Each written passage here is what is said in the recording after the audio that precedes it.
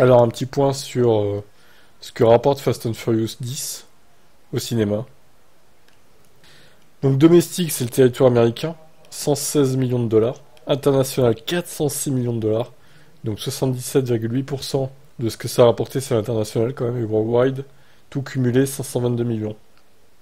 Pour rappel, le budget est 340 millions hors marketing, donc 522 euh, millions de dollars, c'est un peu juste, hein, pour rentrer dans ses frais, quoi.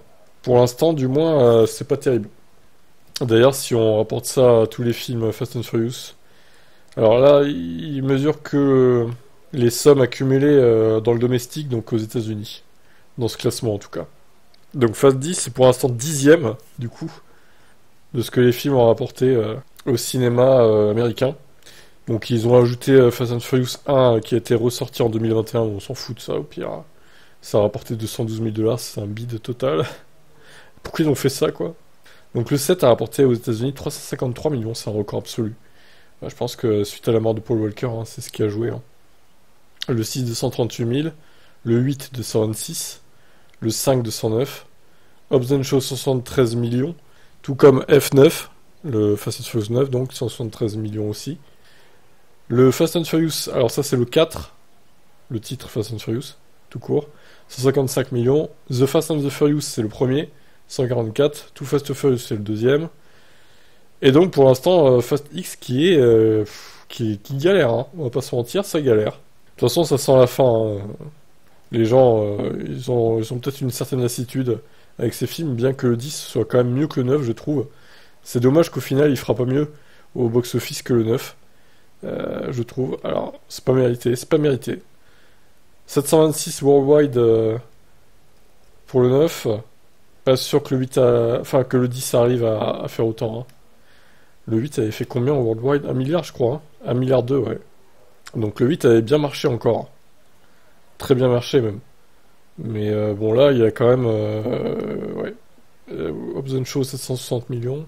Il n'y avait pas Vin Diesel et tout, donc forcément voilà. Fast Five avait fait 626 millions au worldwide. Donc là, ouais, euh, même le 10 n'arrivera même pas à faire ça, je pense. Honnêtement, vu comment c'est parti, il n'y arrivera pas. Le 4 avait fait combien worldwide? 360. Bon, il a déjà dépassé le 4, heureusement.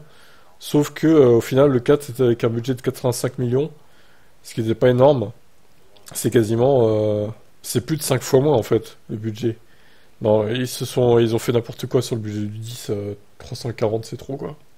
Bah, ça sera le moins rentable de tous, hein, mais bon, après, euh, ils ont tellement euh, accumulé de pognon avec ces films quand même que bon, ça, ça va pas les plaindre non plus, quoi, Universal. Donc pour le 11, bah, je sais pas si ce sera le dernier ou pas, du coup, vu qu'ils vont voir que les scores sont pas terribles. Est-ce qu'ils vont dire, ouais, bah finalement, on va peut-être faire un 11, mais de 3 heures, au lieu de faire un, 11 et un 12 de 2h30, quoi, ou 2h10 À mon avis, il y aura plus qu'un film. Ils vont pas en faire deux autres. Vu les scores, euh, bon, ça serait risqué, hein, clairement. À la limite, en faire un dernier qui dure euh, ouais, 2h50 ou 3h pour euh, clôturer tout ça, comme il se doit, et puis, et puis voilà quoi. Au lieu de refaire un film deux ans plus tard encore, en 2027, euh, c'est risqué, hein. c'est risqué pour Universal, je pense. Ou alors, il faudra vraiment baisser le budget, et puis là, mais le problème, c'est qu'au bout d'un moment, les salaires ont grimpé, vu qu'ils sont présents depuis 10 ans aussi, enfin, depuis 10 films plutôt. Donc, ça joue aussi les salaires. Voilà, qu'est-ce que vous en pensez, vous? Je vous laisse commenter.